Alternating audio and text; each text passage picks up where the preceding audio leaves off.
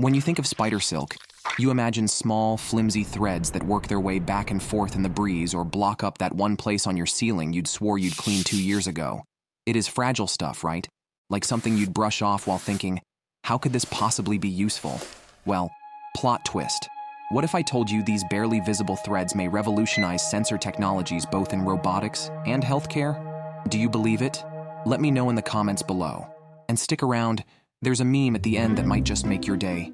One of the areas in which we humans are having a hard time coming up with innovations is designing sensors that can detect touch or vibrations along large, flexible surfaces.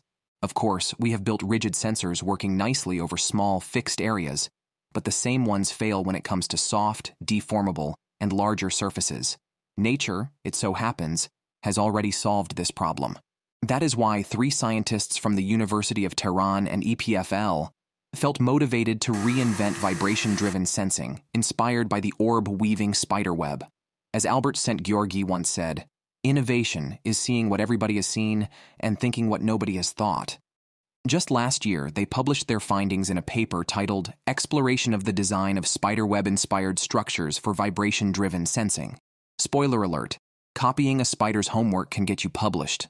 They started by simplifying the key parts of a spider web, like the hub, frame, and radial threads that spread out like bike spokes.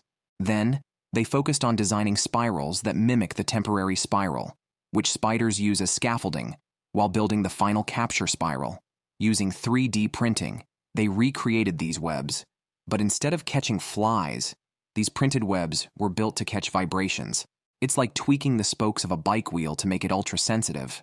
That's what they did, shifting loops and angles until they found which web design was best at detecting touch and movement. Using these 3D printed webs, they hooked them up with tiny vibration sensors.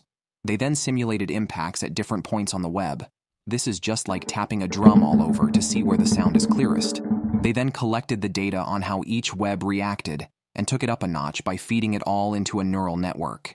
They trained it so that it would be able to pinpoint exactly where each tap landed. Just like a spider, knows where its next meal landed. And the results? They were mind blowing.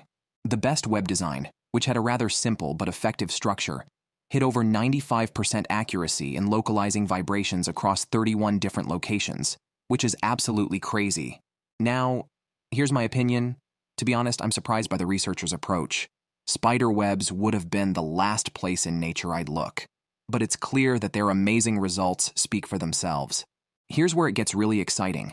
Imagine using this technology for large area defense border surveillance. Embedded underground in strategic areas, it could detect everything from the subtle footsteps of a soldier to the heavy rumble of a tank. It's a stealthy, highly effective way to monitor borders and differentiate between threats. And now, what you've all been waiting for. Drumroll, please. The meme of the week.